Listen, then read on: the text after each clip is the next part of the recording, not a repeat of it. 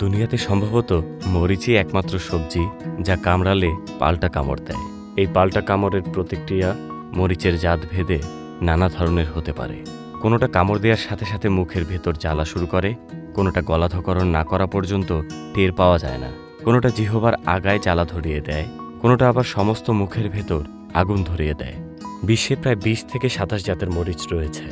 রং, আকার, আকৃতিতে ও ঝালের মাত্রায় সবগুলোই ভিন্ন ধরনের।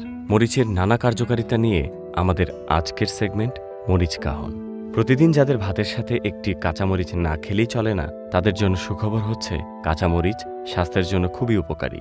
মরিচকে ঝাল বানায় এর বিশেষ উপাদান ক্যাপসাইকিন। কাঁচামরিচ সাধারণত কাঁচা, রান্না কিংবা বিভিন্ন ভাজিতে দিয়ে খাওয়া যায়। এতে আছে vitamin A C B six iron, potassium এবং খুবই সামান্য পরিমাণে প্রোটিন ও কার্বোহাইড্রেট। গরমকালে কাঁচামরিচ খেলে ঘামের মাধ্যমে শরীর ঠান্ডা হয়।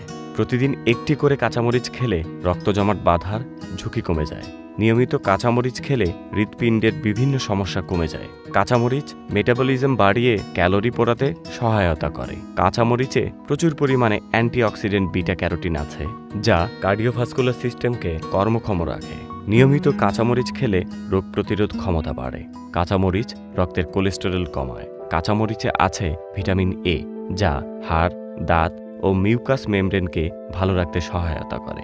কাঁচামরিচে প্রচুর পরিমাণে ভিটামিন সি আছে, যা মাড়ি ও চুলের সুরক্ষা করে। নিয়মিত কাঁচামরিচ খেলে নার্ভের বিভিন্ন সমস্যা কমে। প্রতিদিন খাবার তালিকায় অন্তত একটি করে কাঁচামরিচ রাখলে ত্বকে সহজে বলিরেখা পড়ে না। কাঁচামরিচে আছে ভিটামিন সি, তাই যে কোনো ধরনের কাটা ছেঁড়া কিংবা ঘা শুকানোর জন্য কাঁচামরিচ খুবই উপকারী।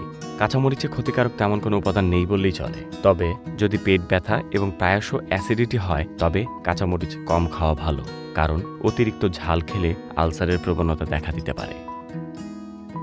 আমাদের ভিডিওটি ভালো লাগলে লাইক, কমেন্টস এবং শেয়ার করবেন। আমাদের স্টোরি টেলার চ্যানেলটি সাবস্ক্রাইব করে আমাদের পাশেই থাকবেন।